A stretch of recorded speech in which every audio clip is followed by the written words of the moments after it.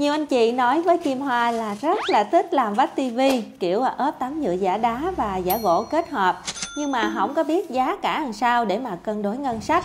Thì ngày hôm nay á, nhân dịp có công trình ốp vách tivi nè Kim Hoa sẽ làm một cái video để tính giá cụ thể. Các anh chị có thể tham khảo xem là phù hợp hay không để à, thi công cho nhà mình nha. Đầu tiên thì các anh chị cần tính xem dùm em là mình cần bao nhiêu mét vuông. Từ đó mới bóc tách cụ thể nè tính cái giá vật tư, rồi à, giá phụ kiện cũng như là chi phí thi công được. Ví dụ như công trình ngày hôm nay á, có chiều cao là 3 mét nè, bề ngang là 4 mét, tổng cộng là 12 mét vuông tường nha các anh chị. Thì cái phần PVC vân đá bên trong á, các anh thợ tính toán làm sao để có thể sử dụng đúng hai tấm giả đá luôn. Mình à, dùng tối đa vật tư nhất có thể một tấm PVC vân đá thì là 3m2 giá vật tư là khoảng 250 ngàn mét vuông. Tổng cái PVC vân đá hôm nay dùng hết là 1 triệu 500 ngàn nha các anh chị. Thì à, công trình ngày hôm nay mình làm kiểu giật cấp, cho nên là mình dùng thêm 30 mét thanh u nhôm. Thanh này thì có giá là 35 ngàn một mét vuông. Thì mình sẽ tốn chừng à, 1 triệu tiền thanh nhôm này nữa nha các anh chị. Tiếp theo là mình à, ốp phần lam sóng viền xung quanh. Kim Hoa tính chừng là mình sẽ cần à, 7 đến 8 mét vuông làm sóng gì đó.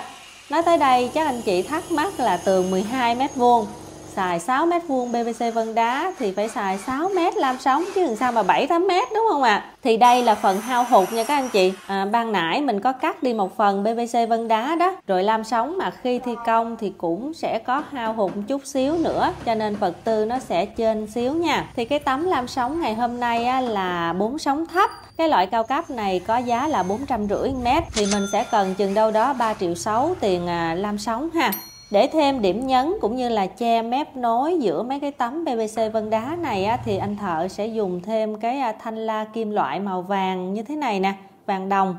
À, mỗi mét thì có giá là 30 ngàn mình dùng khoảng 8 mét là 240 nha. Tiếp đến là che mặt cắt tấm lam sóng ở vị trí giật cắt nè. À, thì các anh chị dùng thêm nẹp V nữa nẹp này thì 50 ngàn mét. Mình à, dùng hết 3 mét dài thì tức là hết à, 9 mét đó các anh chị cho nên là tiền nẹp V là sẽ là 450 ha.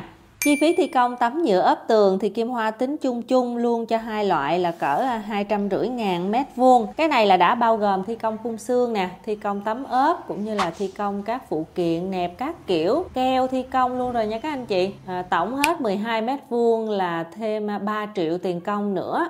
Vậy thì tổng vật tư, phụ kiện, chi phí thi công nãy giờ Kim Hoa tính sẽ rơi vào tầm à, 9 triệu 790 ngàn. Thêm cái chi phí vận chuyển từ kho đến nhà khách khách này ở nội thành thôi à, vận chuyển một chuyến xe ba gác thì hết đâu đó tầm 3 đến 400 ngàn nãy giờ Kim Hoa nói lòng vòng thì cũng hơi rối ha thôi Kim Hoa làm tròn tổng chi phí là trên dưới 10 triệu cho cái vách tivi này ha thì đây là cái mức giá để mình tham khảo à, vì có số lượng vật tư Kim Hoa dự kiến nó sẽ chênh lệch một chút so với thực tế. Tuy nhiên Kim Hoa nghĩ là với cái giá cụ thể từng hạng mục như thế này thì các anh chị cũng có thể tính toán cụ thể cho ngôi nhà của mình rồi đúng không ạ? À? Ngoài ra giá này là Kim Hoa báo tại thời điểm tháng 8 năm 2023 thôi nha. À, giá này nó sẽ luôn có sự biến động nè. Nó sẽ phù hợp với thời điểm này nhưng mà có thể không có còn phù hợp với thời điểm khác.